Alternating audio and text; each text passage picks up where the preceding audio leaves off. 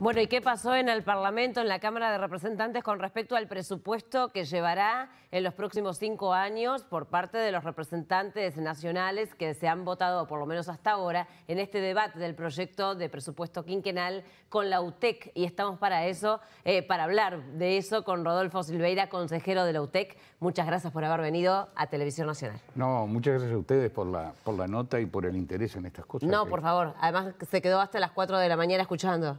Me quedé hasta las 4 de la mañana escuchando. Este, me lo comentaba antes de, cámara, ¿no? Vamos a quedé, me quedé, me quedé, No lo sé yo, Efe. Me quedé, creo que es parte de nuestra responsabilidad también el enterarnos un poco cómo es la discusión parlamentaria y qué cosas se priorizan, ¿no? ¿Y qué se priorizó? A ver, Desde vamos su a lugar, a ver. Claro, vamos a hablar un poco de la UTEC. La UTEC este, había presentado un presupuesto, un plan estratégico 2020, 2021, 2024 o 2025 y creo que es un muy buen plan estratégico, lo hemos discutido ampliamente a la interna primero. Participaron más de 300 actores externos durante un año y medio en la elaboración de ese plan estratégico en, los territorios. Somos una universidad pública del interior, muy joven, seis años en una universidad es prácticamente nada, pero tenemos una presencia fuerte en varias de las regiones. Y en ese plan estratégico nosotros teníamos un presupuesto, lo trabajamos primero con el equipo económico, lo ajustamos un poco y entró a la comisión de presupuesto integrada con Hacienda. Allí se hicieron algunas modificaciones, en definitiva, eh, para lo que importa, eh, todavía estamos lejos del presupuesto solicitado. Ayer de noche, como a las 2 de la mañana, se votó unos 21 millones de pesos para lo que nosotros llamamos transformación digital.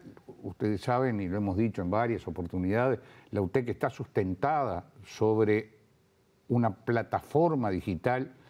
Es una universidad muy moderna, nacimos en el siglo XXI. Eh, entonces, y se adecuaron a eso. Y bueno, sí, nacimos con eso. No es que seamos unos genios que nos, no, nacimos con eso y está muy bien. Y entonces eh, nosotros en cuatro días teníamos el 16 de marzo, después de decretado la, la pandemia, digamos, y la nueva situación, en cuatro días teníamos al 94% de los estudiantes que están en 155 localidades diferentes del Uruguay, todos conectados. Entonces... ¿Cuántos estudiantes tiene? 3.000. 3.000. Nosotros tenemos unos 3.000 estudiantes. y prácticamente todos conectados. Todos conectados, pero además tenemos en el 2019 en actividades de UTEC, y eso a veces no se ve, participaron más de 6.000 personas en diferentes tipos de actividades, porque uno a veces mira las carreras o las ofertas educativas, pero hay muchísimas otras actividades que hace la UTEC que tienen que ver con las habilidades del siglo XXI, con la formación continua, con las actividades en el mundo del trabajo, con el trabajo en el territorio, con los actores políticos, con las fuerzas sociales, con el sector privado. Esta es una universidad muy vinculada al mundo del trabajo, en un momento además en el cual indudablemente, pase lo que pase, el año próximo va a ser un año que desde el punto de vista económico nos va a pegar.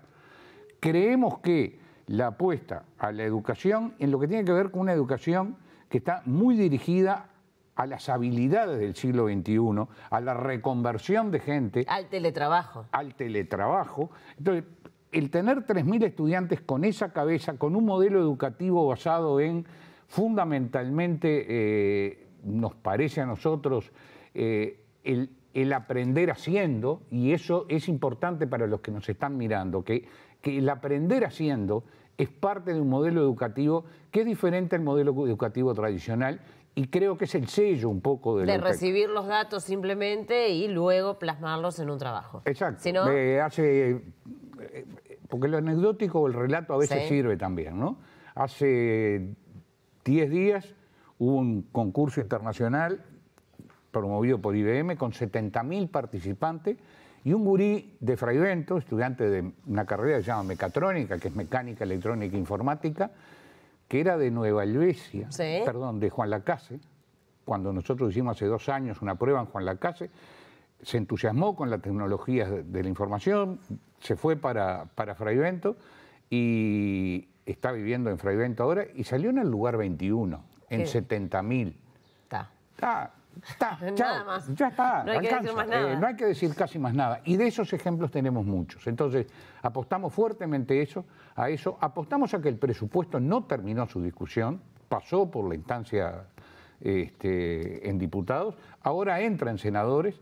Hemos conversado muchísimo con los senadores, hemos conversado muchísimo con los intendentes, porque en definitiva esta universidad es del interior y para el interior.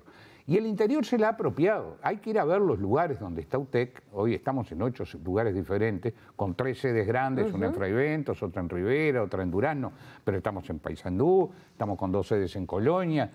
Ahora vamos a abrir una sede el 29 y eso es primicia en, en lo que hace a prensa, eh, porque lo confirmamos hace dos Gracias días. por decirlo en Este, televisión pública. Sí, porque lo confirmamos el jueves, fuimos, hoy es viernes, miércoles, fuimos hasta San José, este, inauguramos el 29 de, de octubre una sede nueva en una vieja cárcel, la vieja cárcel de San José transformada en una universidad.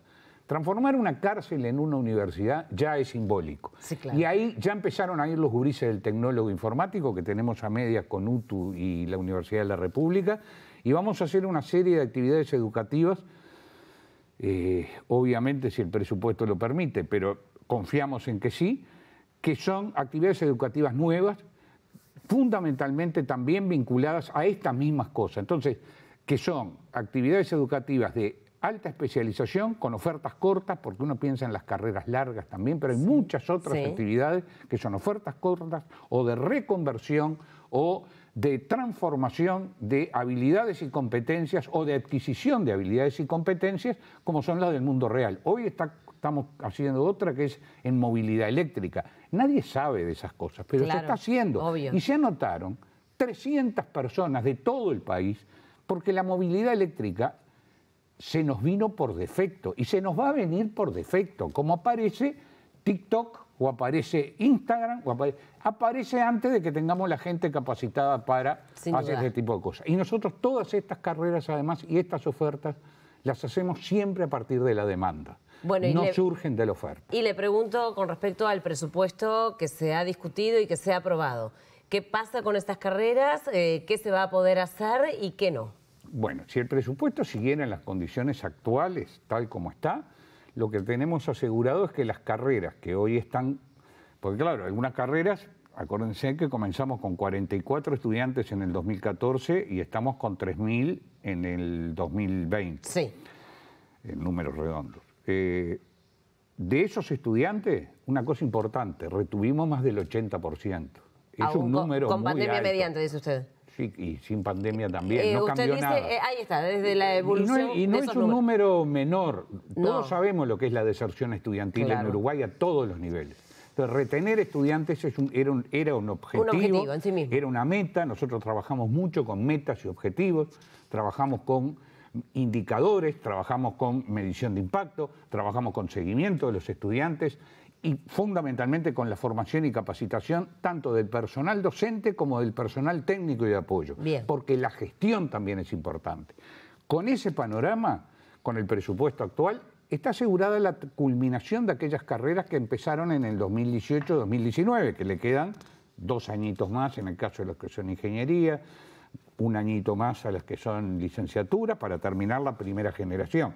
Eso está asegurado, que nadie, a ver, por favor, que ningún estudiante de UTEC ni nadie piense que se va a quedar sin tener haber culminado su carrera. Lo que va a ser muy difícil es extender la oferta educativa en el interior porque vamos a tener que trabajar mucho en senadores ahora para tratar de ir a dos lugares que consideramos estratégicos. Artigas, tradicionalmente olvidado en este país, en varios aspectos, y por otro lado, una zona que tiene una oferta, tiene una demanda de educación importante, Sí. que es la zona que podríamos llamar eh, región sur-este, que incluye principalmente, ahí saco un poco a Rocha y a Maldonado, que tienen ya una oferta educativa, pero ahí tenemos 33, Cerro Largo y La Valleja.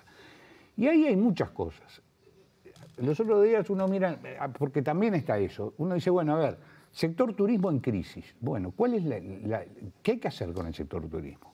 ¿Tenemos que transformarlos en residencias de ancianos, en los hoteles? ¿O tenemos que hacer tecnoturismo y subirnos a la realidad virtual, a hacer turismo a distancia, a trabajar con informática, a trabajar con las nuevas herramientas digitales? Bueno, esas ofertas educativas, como otras, como puede ser la mecatrónica, como puede ser la movilidad eléctrica, como puede ser las energías renovables, son todas actividades que en el interior del Uruguay son importantes. Bien. Y ese es un poco el desafío. Si lo vamos a lograr o no, no lo sé. Y en plata. Hablando en plata, justamente, literalmente. Hablando en plata, 100 millones de pesos precisamente. Si querés que te lo diga simple. ¿Y cuánto se aprobó hasta ahora? 21. Bien. Entonces hay, una diferencia importante. Hay una diferencia importante. Que usted espera obtenerla en la negociación Nosotros eh, con confiamos, los confiamos en la parte que viene ahora discusión de los senadores, pero además confiamos mucho también en el diálogo que hemos mantenido con prácticamente los senadores de todos los partidos políticos, con el señor presidente de la República, con el ministro de Educación y Cultura, con el de los que me acuerdo así rápido, con el ministro de Industria. Este, ¿Y las intendencias decía usted? Las intendencias siempre fueron el mejor aliado que el Congreso de Intendentes. ¿Pero puede tener financiamiento por allí? Bueno, no sé si financiamiento, pero hay muchas formas ingeniosas de buscar cómo complementar recursos. Bien. Si no complementamos recursos, pero si no complementamos recursos integrados además, ¿verdad? Digo, donde trabajemos en red y podamos maximizar los recursos presupuestales, pero a su vez tener la capacidad, como ha tenido la UTEC hasta ahora, de ser un muy buen captador de fondos extra presupuestales genuinos. Es decir, nosotros en este periodo hemos recibido más de 10 millones de dólares de eh, donaciones y acuerdos con organismos internacionales. Ayer a las 4 y 10 de la mañana se votó la creación del Parque Tecnológico Regional Norte en Rivera, que es un, un parque tecnológico pensado a ver, para los que no tienen mucha idea o qué es un parque tecnológico, es un lugar donde está la universidad, ahí estamos junto con la UDELAR, además Rivera tiene un polo educativo fuerte, eh, está UTU, está UDELAR, está formación docente, tiene un sector productivo, que es el otro integrante del parque tecnológico, y tiene, por otro lado, tiene que tener al gobierno, al gobierno local y al gobierno nacional.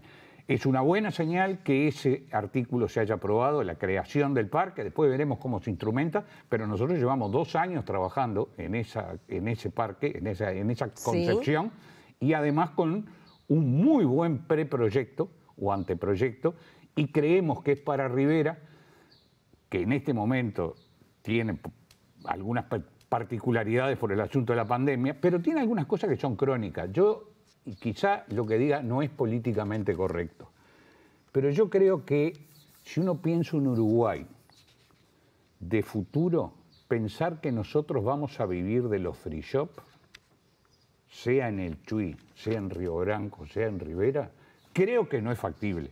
Yo creo que ahí lo que hay que desarrollar es trabajo genuino, trabajo de jóvenes inteligentes, competitivos, en una zona de influencia que además 150 kilómetros del otro lado de la frontera son exactamente iguales. Lo que nos divide es una calle. Una calle. Entonces, ahí el trabajo, y ese trabajo es distinto al que quizá hay que hacer en Durano o al que hay que hacer en Fraiventos o el que hay que hacer con la industria lechera en las sedes de Colonia. Bien. Y esta universidad es flexible, es versátil, es de trabajar en, la formación continua, es de trabajar en crear para los jóvenes nuevas oportunidades y también para aquellos que van a tener que reciclarse. El mundo actual no va a permitir en el futuro una serie de oportunidades laborales que hoy tenemos. Ustedes mismos lo viven, que todos trabajan con algo de tecnología. Sin duda. Si uno mira para atrás, cómo estábamos hace 15 años y cómo estamos ahora, todos hemos tenido que aprender algo. Totalmente. A los ponchazos muchas veces. Nosotros estamos tratando de que eso de los ponchazos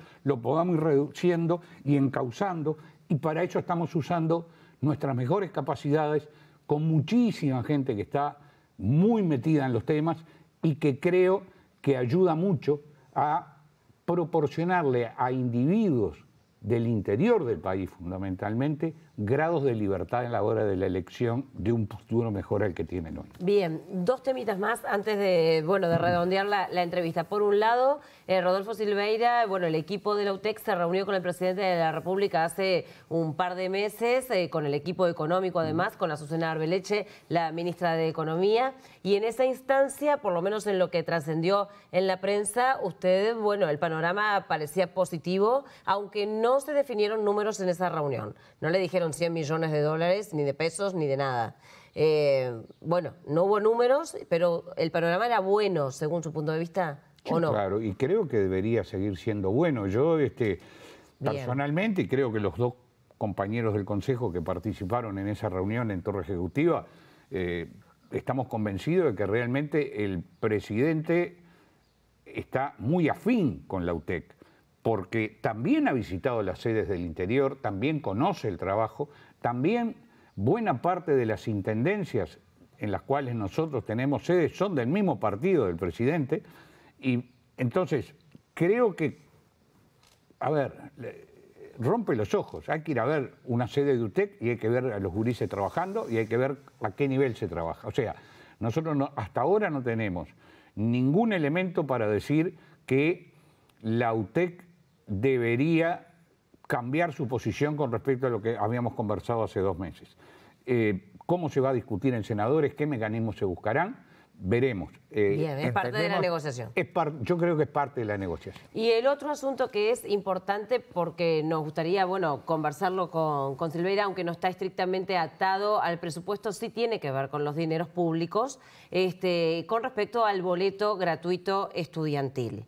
Em, el Ministerio de Transporte y Obras Públicas eh, apunta a ordenar algún gasto que ha visto en principio, por supuesto, alguna irregularidad por parte del pasaje de los datos de las instituciones educativas al Ministerio de Transporte que tiene que, bueno, que hacerle un raconto de qué boletos se, utilizan quiénes los utilizan para conocer si se está eh, bueno, respetando o no el decreto en cuanto a la distancia que el, estudiante tiene que tener con respecto a su centro de estudio.